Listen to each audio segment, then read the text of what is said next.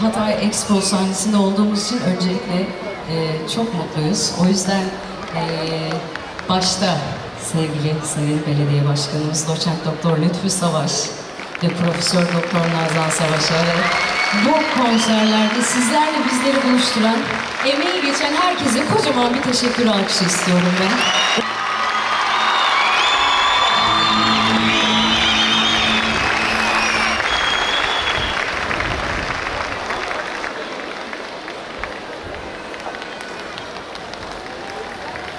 İyi akşamlar sevgili gençler.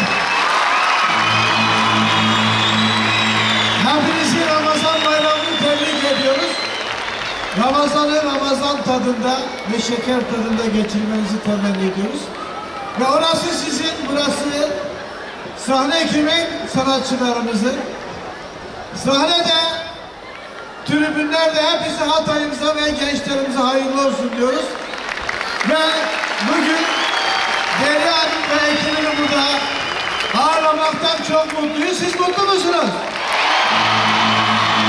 O zaman çiçek faslını hızlı yapalım. Sizin adınızın düşmesin. Olur mu?